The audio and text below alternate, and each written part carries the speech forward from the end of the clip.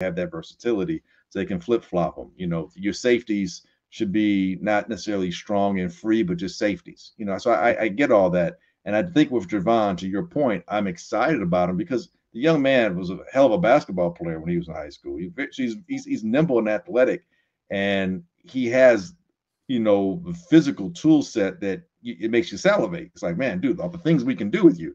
And he's still a young man, you know, so he's still learning. And to your point, I think Eric Washington is doing some things that, that we don't see because of the, the defensive line, although they don't quote ha- have that, you know, traditional three technique and they don't have a bona fide edge rusher per se on the other side of, of sweat, they're still getting pressure. And the whole thing of this defense isn't so much about sacks as much of it is about pressure. And with a guy like Gervon, a guy like Bill, with their strength and the Gervon's length and size in the middle, you don't necessarily have to collapse the pocket, but you can impact the pocket.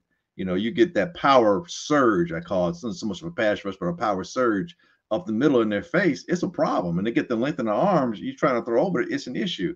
And then you have guys like Sweat on the outside, and Booker's been showing some improvement. I think he's doing really well. He's fall over the place. And then Hardy, I mean not Hardy, but uh, Taylor, uh, when he got here, I hope he's you know getting better health wise.